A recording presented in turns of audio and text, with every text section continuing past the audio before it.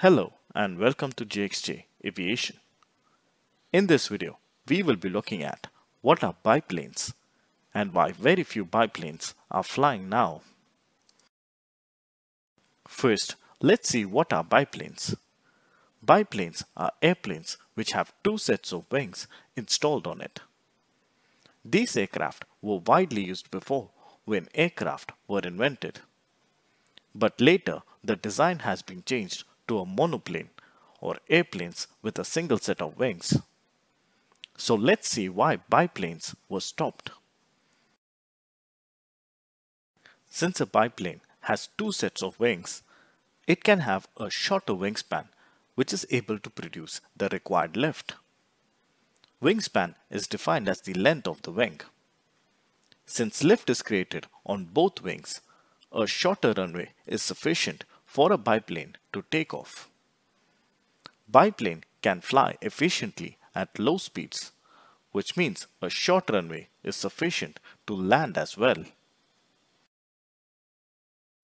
When aircraft were invented, it was assumed that two or more sets of wings were required to produce the lift to carry the entire weight of the aircraft. This is because they were built using wood and cloth, which did not have much strength.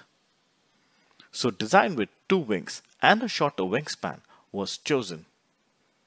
As technology improved, metallic parts were used to build the aircraft's structure. Since they had more strength, a single wing with a longer wingspan was able to produce the same amount of lift.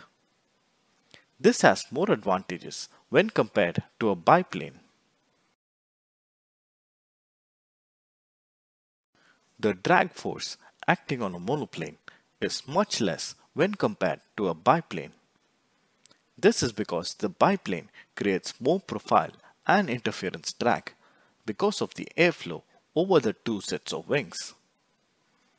Now the biggest cost for operating an airline is the cost of fuel. An increase in drag means an increase in the fuel consumption. So monoplane is a better choice.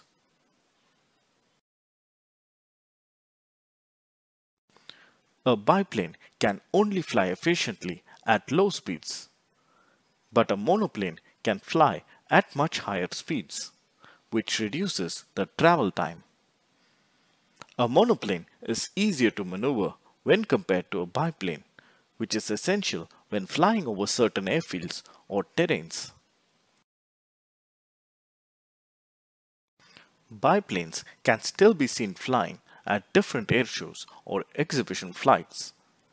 But for commercial use, a monoplane is much more efficient when compared to a biplane. Thank you for watching. If you liked the video, do subscribe and you can continue watching some of my other videos as well.